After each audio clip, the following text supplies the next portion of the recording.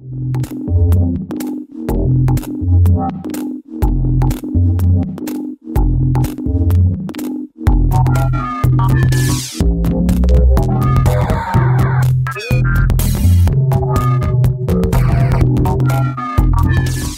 everyone, I'm Raina Armstrong and along with my colleagues Andy Summers and Shauna Common, we welcome you to another edition of the Fortnight Fringe. Thank you all for joining us.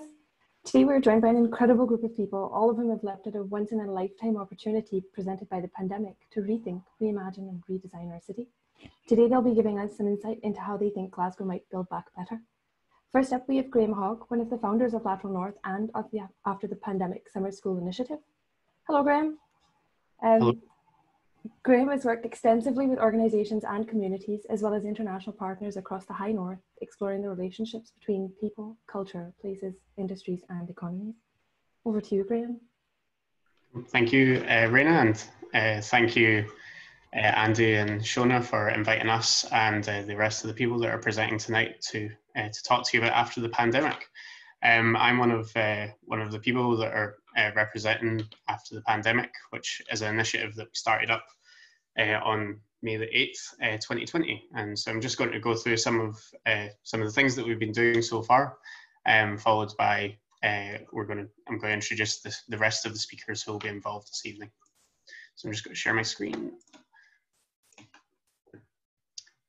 So um, after the pandemic, launched on May the 8th, 2020, as an initiative asking how communities could both generate and initiate positive change during the 2020 COVID 19 pandemic, to develop new ideas, new, new places and spaces, new systems and new products, and to tackle both immediate problems and intersecting global challenges like climate emergency. The initiative's original aim was to use creativity to rethink, reimagine, and redesign Glasgow. We offered an open, supportive platform for people to share ideas of how their communities might build back better from this very specific moment in time, to make our spaces and places to be greener, sustainable, and more resilient. We launched the initiative without much expectation of a response. We were, in fact, completely overwhelmed. Um, Circa 200 individuals from diverse backgrounds have contacted, engaged, and involved themselves to date. This response overwhelmingly um, validated our intuition that there was a significant desire to express and respond creatively to this moment, but without an appropriate outlet. It also suggests that this civic creative potential exists much more widely than just Glasgow. After the pandemic, Glasgow has given has already given eight creative teams a public outlet, with one of them launching here this evening. On top of this, we have over 30 projects in development. These projects cover city planning, architecture, music, interior design, economics, culture and heritage, biodiversity, cultural diversity, accessibility, and many more. However, the project evolved from an existing friendship and work working relationship between ourselves at Lateral North, who's myself and Tom on the left hand side of this image, Fergus Bruce, who's on the right hand side of this image, and um, Laura McHard, who uh, was behind the scenes of um, this project that we done in 2016, which was the 2016 Scottish Pavilion at the Venice Biennale. Unfortunately, Nicola Sturgeon is still not on our team as of yet, but we're still hopeful. So we wondered what this moment, what this great pause might mean for making our communities, our spaces and places greener and more resilient. With economic recovery uh, foremost in the minds of many, we began instead asking if there should be a platform for creative and design-led ideas. So we started writing, emailing, tweeting, Instagramming, and discussing. We have since been deeply encouraged by the hundreds of willing collaborators who have approached us from all walks of life, all of whom who are look, all of whom who are looking to think creatively about our future. So what do we hope to achieve? We think that this moment is a once in a century chance to rethink, reimagine, and redesign. Our goal is for after the pandemic to become an accelerator for creative led change, incubating and enabling projects that impact societies, cities, and the climate for the better. As mentioned before, after the pandemic's initial focus has been collating and actioning ideas about how our city, Glasgow, can change for the better. However, the pieces we have already collaborated on um, so far have been extremely diverse. Working alongside Jamie Cook uh, of the RSA Scotland, we explored how Glasgow could think creatively about its economic model. Jamie explored the potential of using Kate Raworth's donut economic model to measure the success of the city and the region, instead of using GD GDP growth, but instead putting people and communities first. Our second project launched on the 2nd of June and was the After the Pandemic Summer School. Phoebe and Mook of the Design Weans, who were collaborating alongside on, the, uh, on that project, are going to expand on this, this shortly as part of the presentation. On the 50th anniversary of the Kingston Bridge, and with talk of giving the bridge listed status, we worked alongside Solius Heritage to create a totally different version of the bridge. One that said, let's redesign the Kingston Bridge to be a lot less grey and a lot more green. We worked alongside photographers and filmmakers, both professional and amateur, as they came together to create a short film of Glasgow in lockdown, documenting the streets throughout the main lockdown period. The video was also narrated by Ricky Ross of Deacon Blue fame. The National Parks City Initiative, uh, or the, the Glasgow version of it, the Glasgow National Park City Initiative, wrote a piece for us as well, which asked a very simple question What if Glasgow were a national park city? Scott of the GNPC is here to expand on that a little more this evening. We then had fourth year architecture student Daniel Kelly. He reflected on his Erasmus experience in bike friendly Munich and whether Glasgow could learn from the German city to usher in an era of cycling culture. Heather Claridge of Architecture and Design Scotland has also written about how Glasgow, if it were to be thrown into a second lockdown in the winter, could expand existing ideas already existing within Glasgow, um, such as the Winter Wonderland in Strathbungo, and use light to continue to engage our communities in art and culture. And finally, the eighth piece being produced as part of the After the Pandemic initiative is by Ross Wilcock. Uh, we will launch that, and this is going to be the premiere of a video that we've produced alongside him as part of this presentation. That will be the final part of this evening. So, to this evening, we've invited three of these collaborators so far to expand on the pieces that they've already developed, and our fourth presenter, Reza Karimi, is a collaborator to come. We in the Archifringe have specifically identified these, uh, identified and invited these people to present because of the amazing work that they each do, but also because of the communities that they represent. None of them are architects or have any architectural training. Instead, they experience the city in different ways and engage with it through different means. However, if this pandemic has shown us anything, it is that people have to come together, collaborate, and design new ideas. And that includes collaborating across disciplines. Our mantra as part of after the pandemic is that with crisis, there are crossroads. With crossroads, there is change. And with change, there is creativity. This evening, we are hoping that the ideas of these non architects being given a platform to present as part of an architecture fringe event will be a chance for us to begin discussions about how we can make our places, spaces, and communities accessible for all and initiate that creativity. So, this evening, we will hear from four, four uh, presenters, which will focus on four different scales. Reza Karimi will provide an international overview through his work. The design weans, Phoebe and Mook, will then talk about how the pandemic has made them consider how they expand out with Glasgow and also out with their own discipline. Scott will then focus on the opportunity to make Glasgow greener, healthier, and wilder before Ross closes us off, talking about how he experiences the city completely differently from most of us. So, firstly, I'm going to hand over to Reza, who will um, start off the presentation talking about his international experience. Awesome. Thank you, Graham, um, and Raina, Andy, uh, Shauna, and all, the presenters for giving uh, me an opportunity uh, and platform to talk about the Hello Refugee, the project that I'm working on. Um, to start with, um, I don't know if you've got the slides, uh, Graham, uh, just a, a, brief overview of what um, I'm hoping to do with the hellorefugee.org is, uh, in a nutshell, essentially a, a, directory of services and organizations supporting refugees and asylum seekers in Scotland to start with. Uh, some of the services that we're looking at uh, starts with a refugee support map. Uh, and this is an interactive, user-friendly online map. Uh, makes it a lot easier for asylum seekers and refugees to find services based on their locations and categories, uh, basically the support that they need, they can, they can get it through the platform. It also provides a comprehensive information on each listing, including the organization's opening hours, lang languages spoken, and whether an appointment is necessary to visit. Um, a little bit of background about myself before I basically dive into all the services. Um, I, am um, a refugee uh, coming from Iran. I've been living in Glasgow for almost seven years. I've studied here, lived here um, for six and a half years. Um, I've been traveling, uh, I've been fortunate enough to travel um, a lot throughout the Europe and I've uh, been in touch with lots of different organizations globally. Um, and now I think it's the time for me to um, take a break from what I've been doing, which is in technology and innovation, uh, to uh, supporting fellow refugees who are living in Scotland and uh, asylum seekers, and hopefully take the idea globally.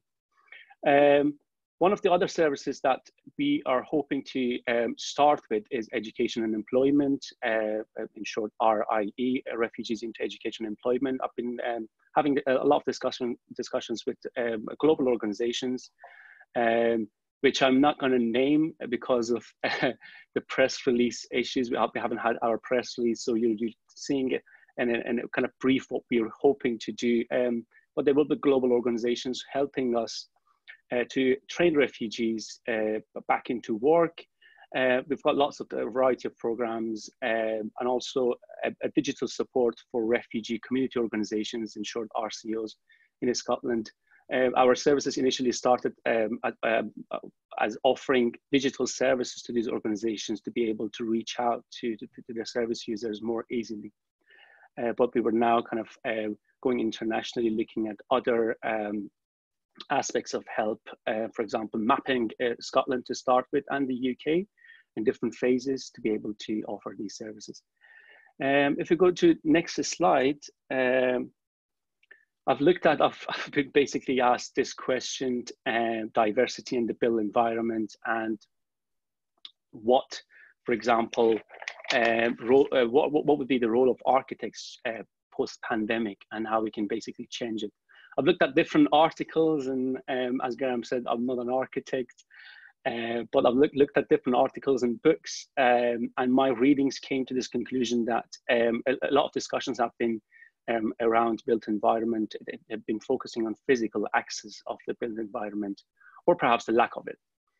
Um, although as the lack, uh, physical access um, has improved over the years, the discussion has widened to as the cultural and economic access uh, recognizing that design plays a vital role in including and often excluding some of the communities. Uh, this is the reference to inclusion by design equality, uh, the CABE, Commission for Architecture and Built Environment, which is a very good read uh, for a lot of um, arch architects and designs, and I've, I've, certainly learned a lot from this uh, basically broad ar arguments around equality if you look at the uh, next slide, uh, refugees in an architecture of resettlement. Again, I've looked at another great articles. I'm quoting a lot from these articles. As I said, I'm not an architect, but I've, I've certainly learned a lot, educated myself um, in that uh, topic. Um, this quote is by um, uh, some of the uh, authors of this great article on a city of comings and goings, where they look at um, refugees in um, West Europe uh, in, in, particular. And I mentioned it seems strange. This is looking at a one size fits all design. And it says it seems strange to compare the lot of asylum seeking, fleeting, fleeing terrorist violence in Syria, waiting um, in a barracks in uh, Drenthe, uh, which is in uh, basically Netherlands, with the situation of Romanian plaster who sleeps in a caravan in Limburg, or a well-educated but average earning expat looking for a furnished rental apartment. But all these, these three comforts us with an inadequate relationship between city and countryside based upon stability and definitive uh, settlement in a world that at all the scales in increasingly about flexibility and migration. Migration is not going to change. The climate change is actually uh, drastically changing uh, the migration, but um, we can really look at individual solutions um, and not one size fits all. Um, I want to keep this brief and look at two quotes in the next slides. Uh, one from um, Ali, an asylum seeker who's been uh, we've been helping a lot over the pandemic, um, uh, particularly since the incident in Glasgow. Um, he's staying in one of the um, hotel accommodations in Glasgow for over four months, waiting for um, the decision from the Home Office to uh, whether interview him or not. And um, I've asked um, him this this question, this broad question that what would you, uh, what would be an ideal um, space for you? And uh, what he said was being able to live well in a peaceful place, an environment that is essential to my mental and physical well-being. I want freedom, a quiet place, natural beauty, open space, and an opportunity to play basketball again. These are all essential for me to stay sane during uh, this lockdown. Um, he's a national basketball player for one of the countries. Again, I, I, I won't be able to mention. Um, he's, he's, he's got aspirations for playing basketball again. He's had titles and he's also been in the World Cup of basketball. Um, again, talking to these individuals, it brings lots and lots of different questions. And um, for, for, for example, Home Office and a lot of uh, policy uh, making bodies in Scotland whereas to whether we can help these individuals uh, get their decisions quickly, as quickly as possible. I've also had a chat uh, with a, um, an individual, uh, a refugee who's got the status in the next slide, um, Arif, who's working with us uh, at Persian and Scottish Community Group, an organization I chair um, in, in Glasgow. And um, he's a musician. He's a musician again. Um, he's had international performances all around uh, Europe um, and in Asia. And what he said was everything from music performances and movie nights to karaoke and urban gardening. One of the main aims is to show the Scottish people that our culture is so rich and people like it so much. Um, integration works both ways, which is which is great again. Um, sums sums it up. Whereas we could, when we look at integration, um, of um, a lot of uh, asylum seekers and refugees, uh, uh, in particular in Glasgow. Um, we, we should be able to include uh, these, these individuals and uh, to tell about their culture, to tell about their place. The complexity of um, our communi communities is not really explored um, in, in Glasgow and in, in Scotland, in my opinion. So perhaps by uh, including these um, uh, individuals um, within the creative community design community, we're able to create solutions for, uh, for the problems. Um, again, thank you for giving me the opportunity uh, here to tell, uh, tell you a little bit about what we do uh, at Hello Refugee and another organization, Persian Scottish Community Group. And I'd like to again thank Graham and um, Archie Fringe. Cheers. Cool. Um, sorry. Um, thank you very much, Reza. Uh, I think we're um, we're actually going to move uh, so straight. So Arif or finishing on Arif is really interesting because um, Arif is actually one of the uh, has, has submitted an idea for the um, after the pandemic summer school, which ties us in very nicely with uh, with the next set of presenters. So um, I'm going to hand over to uh, the design weans, um, who are uh, Phoebe and Mook, and uh, they're going to uh, present the next part, uh, next presentation. Hi everyone, um, thank you Graham for the introduction, um, and thank you the Archie Fringe for having both me and Phoebe here. Um, what an honor, first off. Um, we are Mook and Phoebe from the Design Weans, and in our own times, I'm a graphic designer turned facilitator, and Phoebe is a freelance graphic designer. We've been running the design weans for about two years now on a voluntary basis and started this off for fun, but it's definitely definitely been something that has grown um, to be something bigger. And that's all thanks to the close um, Glasgow design community in taking their time and their skills to help us grow our network. Um, the aim of the design weans has always been to connect design graduates with the industry and really, really value the closeness of um, the Scottish creative industry and want to help our grow our community better and open doors for people um, in the future to enter the industry. Um, we do this in a range of different ways. So firstly, we have an Instagram account where we do like a, a weekly takeover showcasing graphic design talent in Glasgow. And that's been running for almost three years now. And we really love seeing the range of skills and how people use our platform to engage with the community in different ways. Say, for example, showing their process behind the scene or showing their workspace or hosting like a Q&A um, to the audience. We also host a range of events every month. Of course, this was before the Corona nightmare happened. We would do this in a Glasgow pub or a gallery or in a studio and have a good old banter and have a pint in our hands and you know have a have a catch up with our friends. So um, a few of the events that we'd like to highlight today um, are mural painting with Cobalt Collective. If we could go to the next slide. Um, yeah, so mural painting with Cobalt Collective, this would happen on like a sun, sunny Saturday morning in September and the weather had us and it was amazing. Um, so that's the picture on the left and an old fashioned typography workshop with Raisa Padini on the right. A portfolio review speed dating session with Warrior Studio um, in SWG3.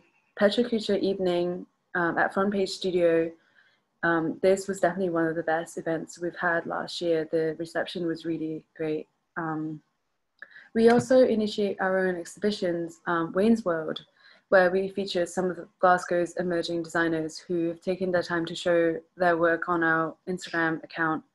Um, so the first edition, which is on the right side, um, was at 16 Nicholson Street Gallery. And the one on the left side was from uh, New Glasgow Society we had a, we had a chance to do like a an end of year review, so it was a really good opportunity to reflect on ourselves and hear back from our community community how we can continue to improve. Um, a more recent project we initiated was Show Off, which essentially is a Scotland-wide Grisho catalogue. Um, so as we mentioned before, our aim through the Design Weans has always been to connect um, students or graduates with the design industry, and we felt that you know it's such a shame that uh, degree shows have been cancelled, and um, we just were super thankful that we are able to offer an alternative for them. Um, so we got talking to a bunch of students through like fo focus groups or surveys, um, just to gather ideas on how best we can support them. And here we have it. As a result, Show features 102 students from nine institutions across Scotland. The standard of the work has been absolutely amazing and we're super overwhelmed by the number of submissions um, that we received. We actually just got the books delivered to us last week and just putting together all of them now, um, ready to be posted next week. So um, if you ordered one, do keep an eye out because they're coming to you.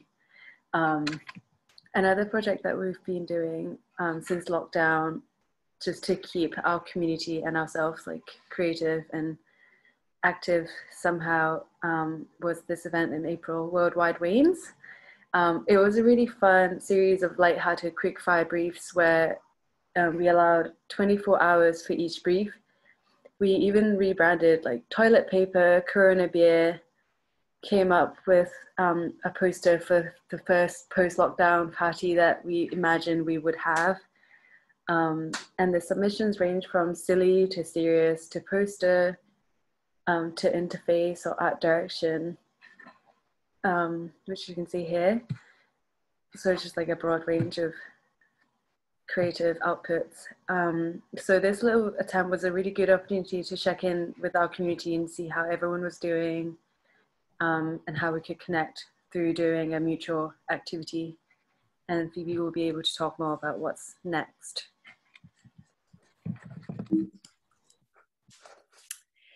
Uh, thanks, Mook. So yeah, um, another project we've worked on over the lockdown is After the Pandemic Summer School.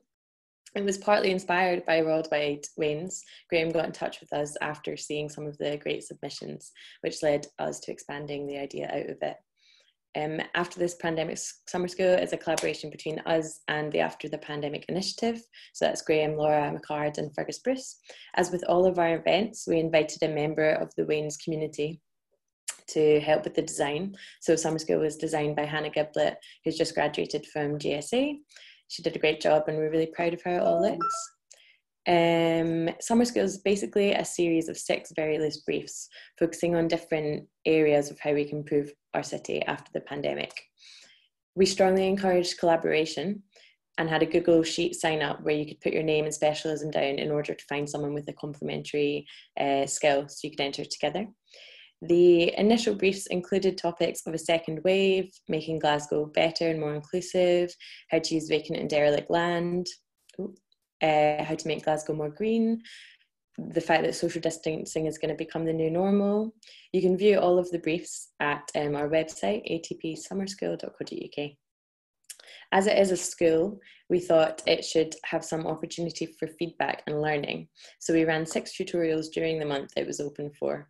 We had re 12 really great tutors, ranging in discipline from creative director, a doctor, a comedian, mural painter, the tutorials were a great chance to check in with those entering the competition and also just a really nice way to see people, albeit over Zoom, uh, and have some creative con- conversations during the lockdown. The school, these are some of uh, the tutorials. The school technically uh, ends for now um, on at our showcase on Thursday, where we will have 12 panelists comment on the standout project submitted. We really did have a fantastic range um, and number of submissions, and we will be posting them all in our websites and socials so that they can all be seen. But on Thursday, our panelists are another star studded cast. We've got Glasgow City Councillors, creative directors, people from Sustrans, Glasgow Life, Creative Scotland, along with um, people here today, Reza.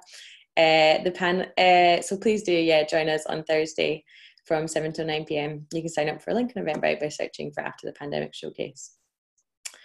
Um, so, we'd like to end by reflecting on how the pandemic has changed the way we work and what elements we'd like to continue on with uh, after the pandemic. Uh, for example, Show Off gave us an opportunity to, to expand our network to include the whole of Scotland. Usually, we do just keep things to Glasgow, um, so as the whole project, but as the whole project was remote anyway, it made sense to open it up. This was really special and exciting for us, um, as it felt like it was an opportunity to bring people together and unite them, which you know obviously is really fun in this time of isolation and separation. Um, it's also shown us that there are other ways to exhibit work. Apart from the classic physical exhibition, which is what we usually do, the print is or isn't dead argument has um, been ongoing since long before coronavirus. Um, but the fact that we managed to crowdfund and sell out a printed catalogue warms our hearts as graphic designers. Um, so when COVID passes, we are hoping to get back out there and run events again with a new mindset. And now we know that we don't need to um, rely on a physical space to run a great event. It's expanded our horizons and helped us think of exciting new ways to engage with people. And finally, we're changing how we work as a pair. Mook is moving back to Thailand, which means that if we want to continue working together, we're going to have to find new ways to communicate. Uh, whilst we don't imagine that she'll be part of Weans in the way that she has been up until now, working together fully digitally through this whole time has really shown us that it's so possible to successfully communicate and realize big projects together over the internet. Um, so that's a bit about us. If you have any projects you think we can collaborate or help on, please get in touch with us. You can email us at designweans at gmail.com or find us on Instagram. And also thanks again to Graham and Archie Fringe for uh, yeah, giving us this platform. And we'll hand back over to Graham. Um, cool, thank you very much, uh, Phoebe. So, um, one of the design uh, briefs that was part of uh, part of the after the pandemic summer school was actually um, G for green, and uh, as part of that that brief, there was a there was one which was talking about the Glasgow National Park City, um, of which we're about to hear from uh, from Scott Ferguson uh, on on that. So uh, I now invite Scott to talk at a much more sort of regional level and Glass City wide level about the work that uh, he and the, the rest of the team do as part of the Glasgow National Park City. So Scott, if you want to unmute yourself and then let me know when you want me to skip on to each slide. yeah, good evening, everybody. Uh, thanks very much for uh, coming along this evening. It's a very odd experience speaking to an audience that you can't see, so it's a bit of a new one on me. So yes, my name is Scott Ferguson. I'm here representing the Glasgow National Park City Group. Um, we are at, at the moment a small but hopefully growing uh, group of individuals who have kind of come together uh, around this idea of um, Glasgow becoming a national park city.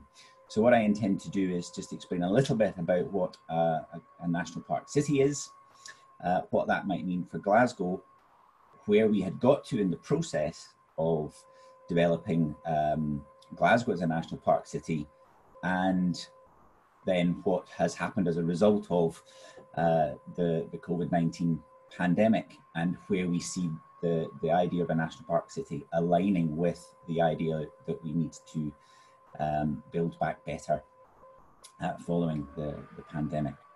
Uh, so the first slide, if you, if you can. So uh, I don't know if many of you are familiar with um, what a national park is, but these are the, the four principles that sit behind uh, a national park in Scotland. And there's a very similar set of principles that sit behind uh, the creation of national parks and the rest of the UK. Um, what you will notice in the Scottish version is that there is nothing in there that says where a national park should be uh, created or designated.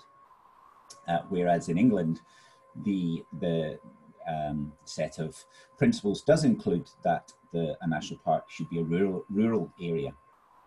But maybe about six years ago, an urban geographer called Daniel Raven Ellison uh, started to consider what whether the national park principles could be applied to an urban area. Um, and he took that forward in London uh, and began with a grassroots campaign building support for the idea of applying these principles of a national park to an urban area. Um, and slowly that built into a campaign for, for London to become a world first national park city. Uh, and that happened in July last year when uh, the Mayor of London declared London as a national park city. Um, about, it was maybe about 18 months ago that uh, myself and some other uh, colleagues and contacts that I have in Glasgow started to think about the idea of, of applying the, na the, the, National Park City idea to Glasgow. Um, and we feel that um, Glasgow has a lot, the, the idea of a National Park City has an, an awful lot to offer Glasgow. Um, and the key core messages that we've uh, developed for Glasgow as a national park city are in the following three slides. So the first is for a greener city. And when we talk about greener, we're talking about it not just in terms of the physical environment, uh, but also in terms of overall um, environmental sustainability. Uh, another principle is in the next slide. Um, so many of you will be aware of, of Glasgow sort of having a reputation for being not the healthiest city and particularly in terms of health inequalities being a major uh, issue for the, uh, for the city in the west of Scotland, maybe more generally. So a core principle that we want to build into the idea of Glasgow as a national park city would be a healthier city. And the final one uh, is, yes, Glasgow is, is often known as the Dear Green Place, but um, we think there is scope to bring uh, wildlife and biodiversity uh, become to make biodiversity much more central to the way we plan and manage our city. So what has the group done? Um, the first thing is to try and get our message out there. So we have developed our online presence uh, and we have set up a website. Uh, we've got a Facebook page, uh, a, a, Twitter, and I've started to engage with a wider audience through through that uh, both social media and our, our website. Just trying to get the idea out there. The second strand of, of our activity has been uh, to host a number of events. So uh, our first event was um, a small uh, sort of by invitation event to people that were working within the green space sector to float the idea of Glasgow National Park City and uh, to get some initial feedback on what we what people felt that might mean for the city. Uh, and then we've run a series of events from from there. Uh, one at, in partnership with Glasgow School of Art to look at more at the architecture and urban design element of the National Park City. Um, we had a walk around the city with a number of uh, individuals who were just interested in the idea uh, to look at some of the, the, challenges that we might face. And our final event, our, our most recent event, was in February, uh, where we had our first supporters event, where we brought together organisations that have signed up as supporters uh, to start to look at how we as a National Park City group could support what they're doing and uh, what those organisations might do to support getting the message out and engaging with a wider audience. Uh, so that's the final element of what we've done to date, uh, which is the next slide. Uh, so we've now signed up, I think it's now up to about 25 organisations across the city as supporter organisations. And that's the sort of the start of building a network.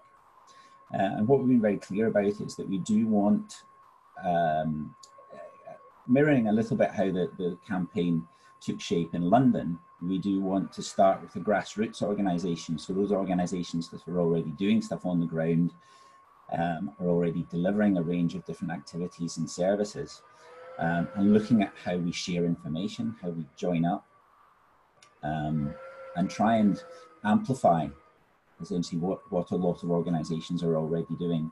We kind of recognise that there are there's a huge range of work already going on across the city, uh, carried out by a range of organisations from um, statutory sector organisations, public sector organisations, through to voluntary sector and community sector organisations. And what the National Park City needs to do is join up the work that all of those organisations are doing and build from that grassroots. Um, so we were just at the point where we'd had our first supporters event. We were starting to think um, about uh, what our next moves would be. Um, and I guess at that time, Glasgow felt a little bit like a city at a crossroads. So COP26 was, was starting to be planned. Um, Glasgow had declared a climate emergency, and there were a range of different things going on. And then, obviously, we were hit with uh, COVID 19 and the shutdown. Um, and that's kind of maybe put a bit of a break on what we were what we were planning to do over this summer. But what we do see is is the role of the, the National Park City Group is to look forward. Um, we want to try and look at what's needed for the city um, and look at how we can support and network and work with those organisations who, sh who share that vision.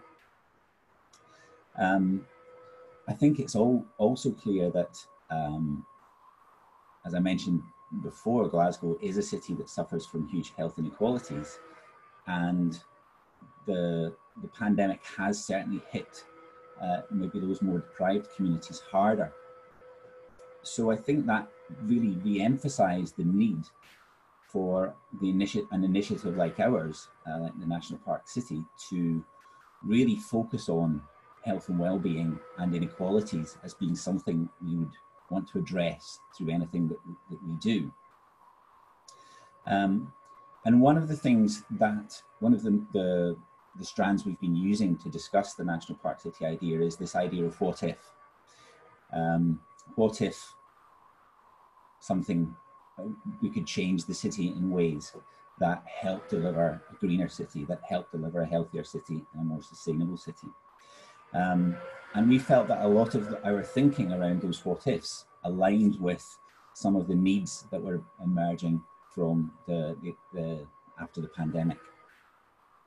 So here are just, uh, as I said, the last event we ran was with our supporters, and I've kind of tweaked some of the what ifs that emerged from that event to maybe focus on some of the uh, more architecture and design, uh, urban design elements. So, what if the current quieter streets became a tipping point for a change to the way we design our neighbourhoods, um, to places where we can walk, socialise, cycle and play on a connected green network. What if the focus on outdoor learning was brought into the heart of every school or other learning environment and its surrounding neighbourhood? What if we used the, the refurbishment of buildings and the, the planning and design of new buildings to create new elements to the city's green network rather than uh, the city's grey network? Um, and so the final what if, what if that next step was for Glasgow to become a national park city. Um, so I think that leads um, maybe neatly on to the, the next presentation uh, from, um, which is focusing much more on an individual's experience of, the, uh, of Glasgow as a city. Um, because I think what we need to try and do with the National Park City is connect citizens' experience of the city with uh, organizations and other structures um, to really build a conversation about how do we make the city better for everyone. Cool, thank you very much, um, Scott. Thank you for that. Uh, as you say, I think yeah, the the, um, the, the that leads us very nicely into the next presentation, which uh, is um, going to be split into sort of two parts. So um, Ross uh, Ross Wilcock is a poet and storyteller, and uh, so he's going to give us a little presentation just to start us off, and then we will um, finish off all of the presentations with a video that we have worked alongside Ross to produce. So um, I'll just ask Ross, please, if you want to start. Yeah, so thank you, Graham, for introducing me. And yeah, uh, so I am uh, really grateful to be here and you know have my voice finally heard. Um, and yeah, so I am coming from from the point of view of someone who is, um, you know, disabled and also part of the LGBT community. And what I really wanted to uh, talk about was uh, how we rebuild our city to be more accessible and why that is so important. So, um, as someone that said, as someone who is disabled and, and LGBT, I think it's important that access becomes a key uh, fixture in how we continue to rebuild society. Um, as sustainable and eco-friendly the um, Scottish Government plans are to make the streets of our city, um, we need to look at what can be done uh, for those like myself who have who have disabilities and access needs. Uh, also keeping in mind that rebuilding our streets are just a small part of, of it and that we need to think about how, how our events, social venues and healthcare buildings are more accessible from the inside as well as as well as out. I spent many years in a wheelchair uh, and have been using a crutch and have been using crutches since the age of 12. Uh, so I'm I'm for, forever reminded of difficulties our city presents having access needs. And I'm always trying to you know, use my voice um, and tell people about this, but I think it's really difficult when, unless you kind of live it for yourself or see it in someone that you know, whether it's family, friends, I think it can be really difficult to really understand that when you don't have those things um, in your life. So as we ease out of this uh, weird time in our life. Um, I, I, I want to look at how I can make my experience of a lack of lack of access in the country um, and make that a thing of the past for people in the future. Um, however, I, I am aware that many buildings in the city have historical or legal issues preventing any any like massive renovations, and um, unfortunately, a lot of LGBT venues in, in Glasgow uh, and I think throughout the city, uh, throughout the country, uh, seem to have that issue. Uh, and what's really you know upsetting is is when you have a community that is so open to all and so equal, it's sad to see that that their nightlife and, and social life venues are um, you know are in buildings that you know that aren't very accessible. Even something as simple as having a step to get into a venue can prevent someone from you know from enjoying that. And I think it's it's you know it's a hard pill to swallow when all you want to do is be part of something and, and belong. Um, but I don't want to think like that anymore. Um, and yeah, so pretty much thanks for listening. I, I hope that you take from this that access needs to become something that is at the at the front of everyone's mind in future, and also that access doesn't just help people like myself. It helps um, it helps all of us from a business standpoint, marketing standpoint, and a social standpoint. Uh, so yeah, so thank you to Graham and thank you to Ar- Archie Fringe for having me uh, be part of this incredible event and giving me a platform to to voice my opinion. And yeah, thank you so much. Cool. Thank you, uh, thank you, Ross. Um, what we're going to do is we're just going to um, share a video that we've developed alongside Ross, uh, which I think touches on a lot of the a lot of the discussions that we've been having um, over uh, the past sort of 40 minutes uh, and um, talks about how we make the city and our communities, our spaces and places a lot more accessible. So we're going to try and play uh, this video across Zoom uh, to you watching on YouTube. So um, it is uh, subtitled. So uh, we're, we're, if uh, if it, if the sound doesn't quite come through, hopefully you will be able to uh, you will be able to to still understand. But uh, the um, we will be posting this both on our network and also we'll we'll provide the video for Archie Fringe to post on theirs after this event. Should it not work quite as well as we hope, but here we go. I have mobility issues and I'm visually impaired.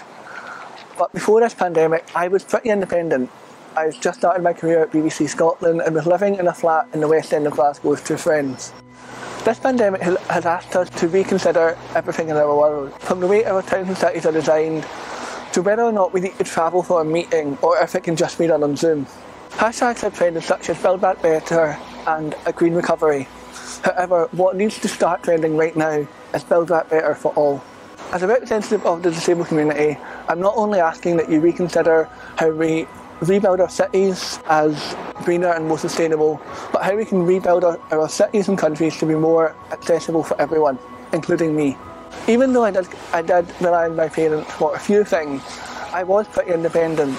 I, I was pretty independent, and this helped combat the ignorance that, that was held against me with my disability. As the pandemic got more serious, uh, I I started to lose touch with my with my independence and and everything kind of started to fall apart before my eyes. As a result, I had to move back in, in with my parents.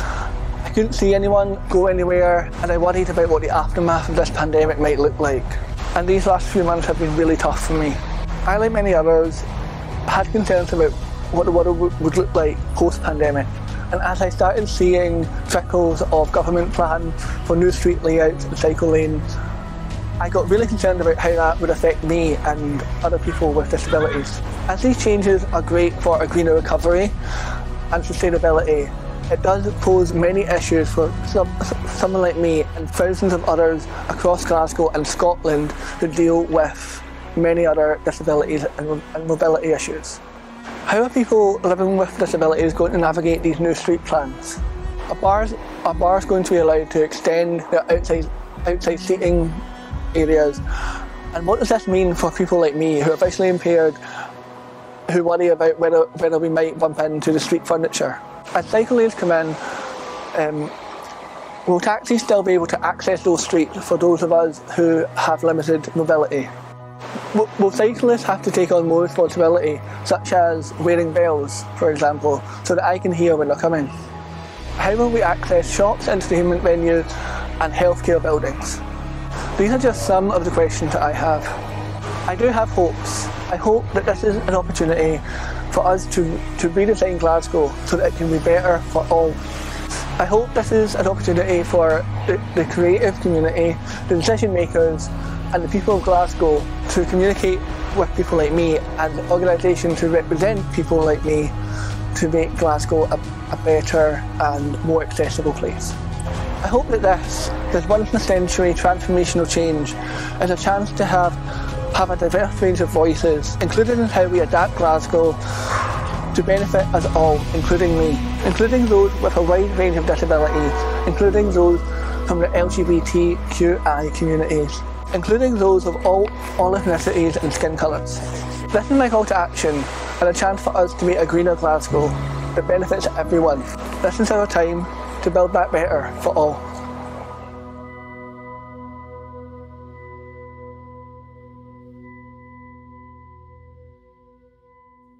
So thank you very much, Ross, for uh, that. I think it's like a really humbling video and really inspiring as well.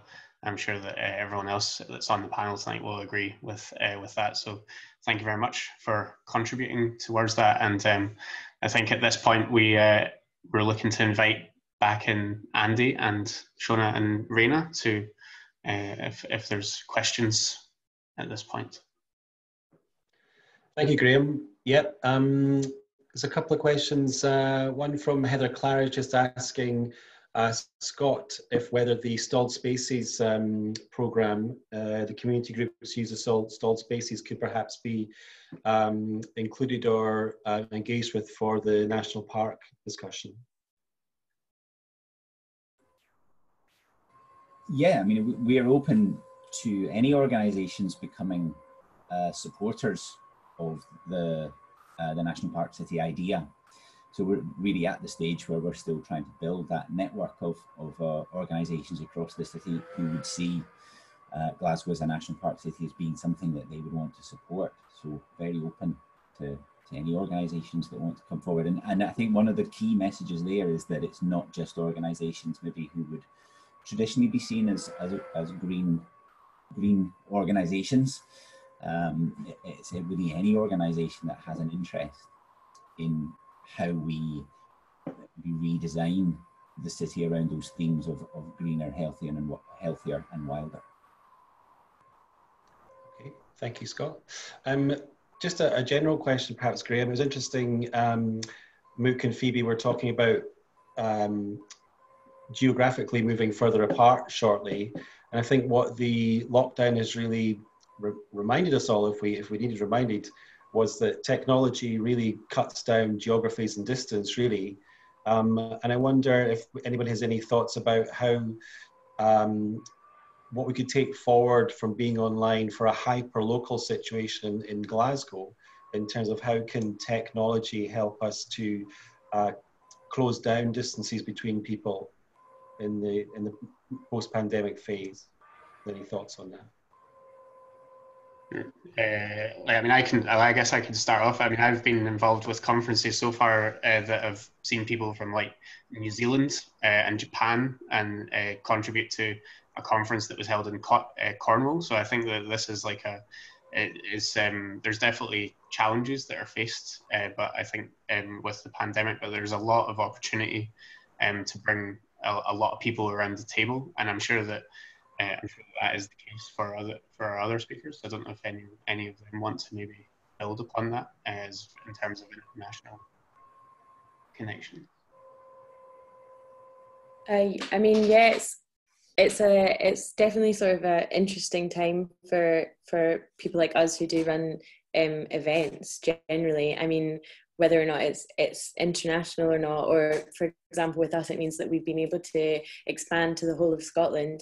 I think the fact um, that everybody is in the same position has been a benefit because it's not like anyone's missing out because everyone's equally sitting behind a desk. I think it will be a bigger challenge as some of us will be able to socially distance. Maybe like we'll be able to go to an outdoor venue to do an event to then continue expanding to the rest of Scotland.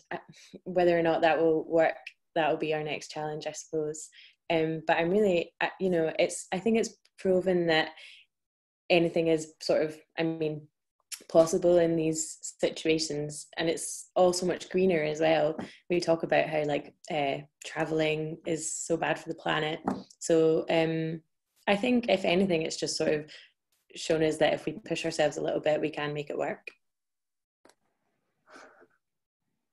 some of it with like a fresh mindset on like you know how we've been able to do everything that we've done so far behind the screen but then when we come out of it and i guess re into, re enter the the outside world and you know um, have this mindset of okay how do we practice social distancing in new event or how can we make it possible for us to attend despite the limitations Um, so we have to really think about that, but it's definitely um, possible. Um, just yeah. Anyone else would like to reply on that, or there's another question?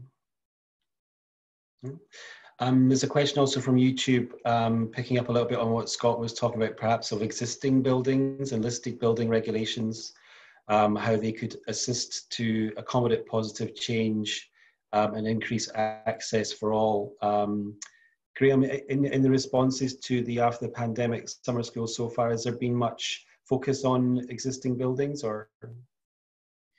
Um, I could probably pass this on to Phoebe and Mook if that's if that's okay. I, I mean, there's uh, there, there's we've kind of scanned through stuff, uh, and there there is some uh, response, but there's also ideas of like creating new spaces and new buildings as well. So maybe if and Mook want to.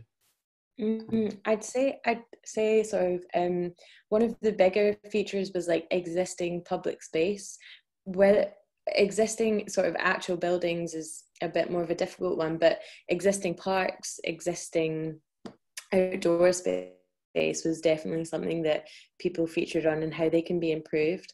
I think the pandemic made it really, as obviously being outside it still basically is one of the only places where we can see other people. Um, there is a lot of ways about um, how we can make public spaces like a bit more weatherproof um, because obviously it's always raining in Glasgow, although apparently not during the pandemic. But um, but actual um, existing buildings, uh, I don't. Did we?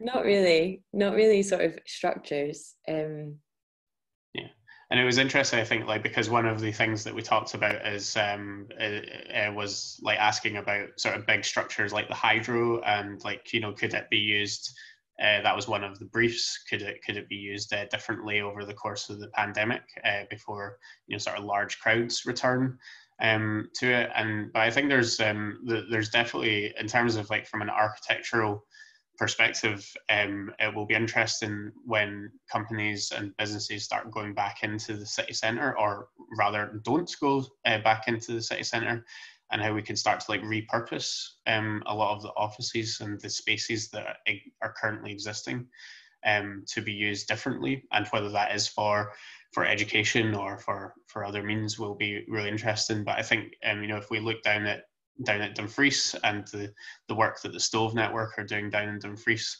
uh, on on um, on bringing people to live back on the, the the high street of of the of the town centre I don't think there's any reason that we can't be having that discussion um, about how we repurpose buildings. Uh, and you know, we, the pandemic has has managed to make us realize that we can fix homelessness immediately.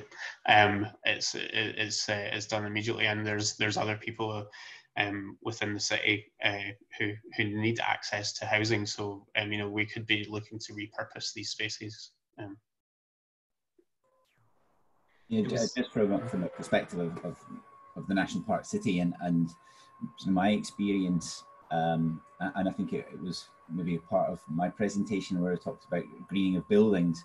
Um, yes, there's a, obviously a challenge around heritage buildings where there will be restrictions on what you can and can't do, and that touches on some of the stuff that Ross picked up on in terms of accessibility as well, where there's there's challenges.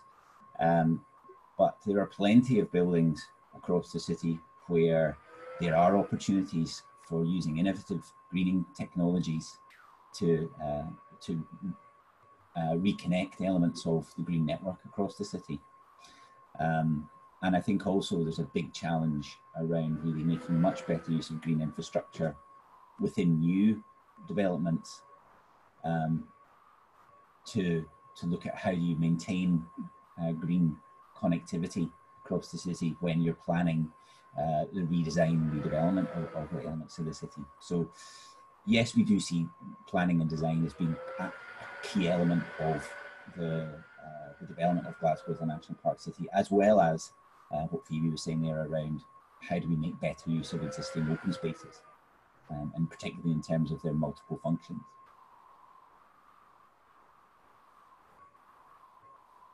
I had mentioned um, citizen experiences, and um, obviously Ross shared his personal experience of the city navigating that. And Reza mentioned um, people he'd been liaising with about their experience of what they would hope to encounter in the cityscape um, for mental well-being and overall well-being. Um, how, how do we feel that we can, how, how's best, how is it best to try and build in well-being as a, as a metric in this project beyond perhaps infrastructure or spatial changes?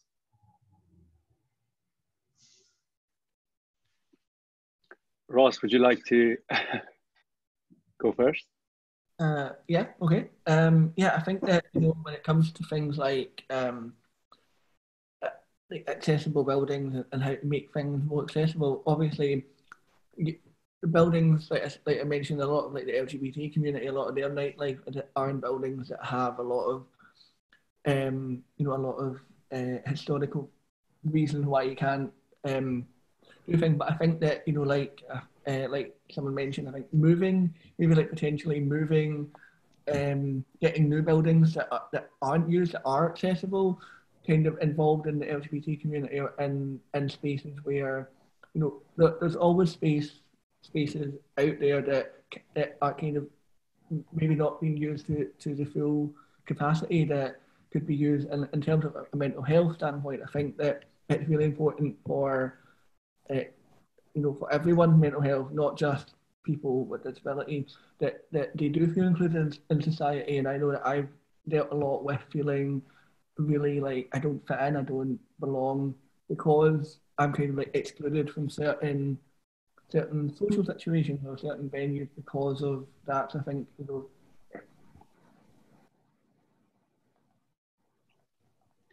Uh, yeah, just to add to um, again that point, um, I think the design community could uh, perhaps partner or, or support design justice um, um, um, some of the design justice advocates uh, actively obviously working with uh, policy uh, policymakers within within the, within the government, or, or perhaps consider uh, black and minority ethnic uh, groups, um, and obviously again minority groups, disabled groups, and other representative um, of these communities, not to bring them on board, not not just to check the box, and and actually getting them um, obviously to form partnerships uh, uh, with, with, regards to policies and practices uh, to, to, to, to, frame a, a, partnership with them.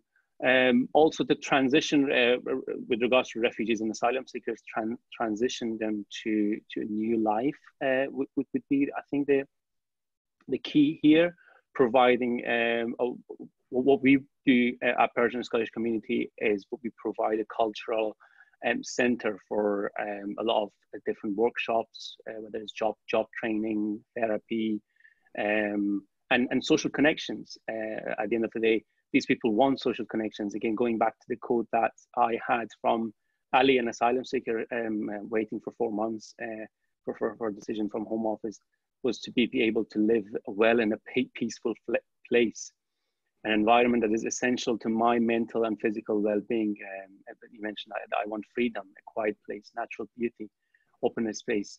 Um, we're all, um, I think, uh, on, on, the same page about providing the green space and openness space for all.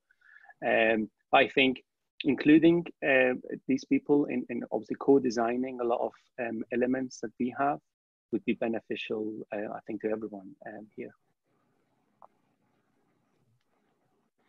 Just uh, one final question from YouTube from Marion Pries. Um, I'll just quote Marion here. I don't think we are all equal behind our screen, especially in deprived areas where there's a huge digital gap with people not having access to the online events, discussions, etc. Inequality has increased during the pandemic, making it really hard to reach people who are especially struggling during these times.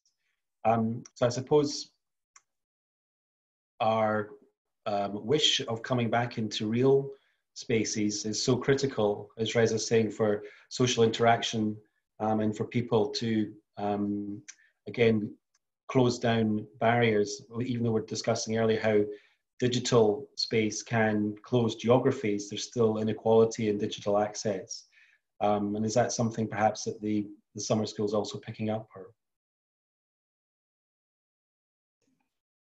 Um, Yeah, I think there's uh, there's definitely like one project that talks about um, sort of well-being within the community and how we address that through design. Um, so uh, that's um, that's a, a I think um, Phoebe Phoebe or Mook might be able to correct me if I'm wrong here, but it's a graphic designer uh, and um, and a, a, an architect as well who've come together to create a um, create a piece that effectively talks about kindness within the community. And uh, but it's also used as like a message board to um, to engage people uh, within uh, within a sort of socially distanced manner um, as well. So i think it's uh, i think what what um, the the uh, common com- commenter there has has said is very relevant uh, and um, that is the, the the pandemic has definitely um, it's definitely got a lot a lot of negatives um, and it's also got some positives. Uh, so I think it's uh, it's like it's trying to take forward the, the sort of positives that we are getting from it, but still ensure that inclusion and uh, a diverse range of voices are included in in, in this sort of in the conversation about how we change towns and cities and places. Yeah, absolutely. I agree. I, I totally understand what you're saying in terms of um yeah, we're not equal uh behind the screen. It's something like we've been working with uh, students who um, have obviously not been able to go back to uni um, during the pandemic and you know it's all very well saying that they can work from home but a lot of students don't have access to the um, facilities they don't have stable internet connections they don't have a quiet place to work um, and yeah no you're right it's, it's definitely something we need to make sure that we we uh, think about as we do come back um, or go forward into how, how we run our events after. There's also a comment there also just um, for the elderly to be remembered as well in terms of um, digital access. Um, well, I think that might be the end of our questions and our time. I might hand back over to Raina there to close us out. Thank you, everyone. We've been given lots and lots to think about. And if everyone would love to see the results, there's the showcase on Thursday at 7 p.m. Tickets are available on Eventbrite. And we at the Fortnight Fringe will be back in two weeks. So look out for our events on Eventbrite as well. Have a good evening. See you later. Thank you, everybody. Thank you. Thank you. Thank you. Thank you.